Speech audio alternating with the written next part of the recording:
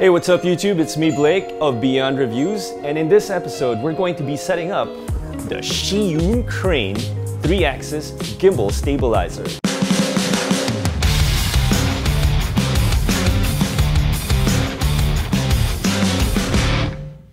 Before we begin, I'd like to thank Hobbes & Landes for allowing us to shoot in their wonderful store here at BGC High Street, Bonifacio Global City. What do I have in front of me? Well, let's check it out. I have a Manfrotto Extreme. I have a very trustworthy Sony a7S1 with a 10 to 18 um, f4 um, lens. And of course, I have the Zhiyun Crane V2. Timer starts now.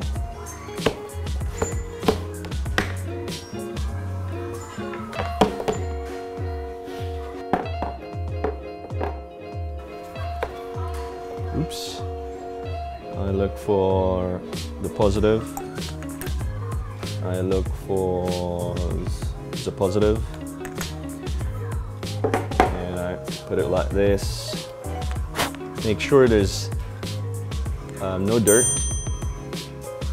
on the handle there.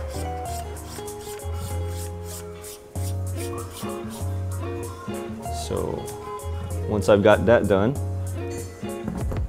I'm gonna put the Manfrotto uh, mini legs on this.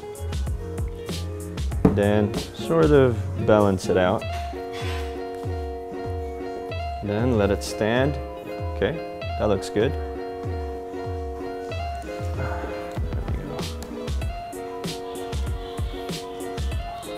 Mm -hmm.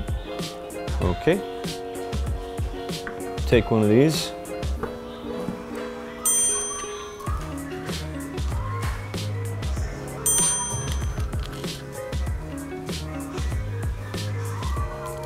Oh, a little bit slanted. I'm gonna take out the lens cap. Very important you take out the lens cap because if you balance it, your balance is gonna be off. So right now, we're back heavy. This is what I use, the screw to connect it. This is the one what I'll use to balance.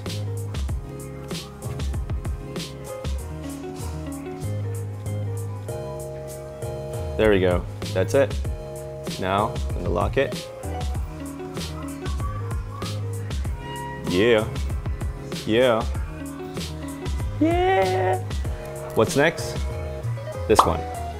All right, so Heavy on the right side.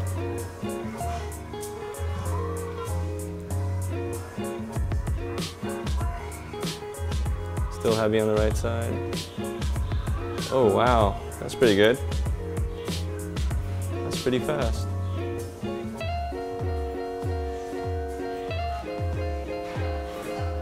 It's good on that side, not on this side. Come on, just a little bit more. That's good. Okay.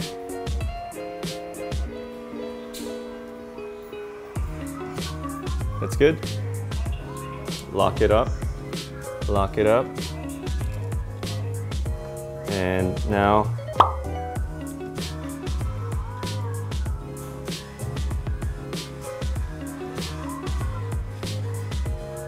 That looks pretty good, guys. What do you think? Yeah? Looks pretty good. And that's how you set up the Zhiyun Crane 3-axis gimbal stabilizer. Let's power it up.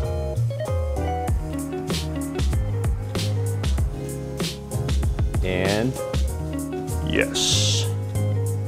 So guys, that ends our episode. If you enjoyed the video and learned something from it, please hit the subscribe button and don't forget to share and like.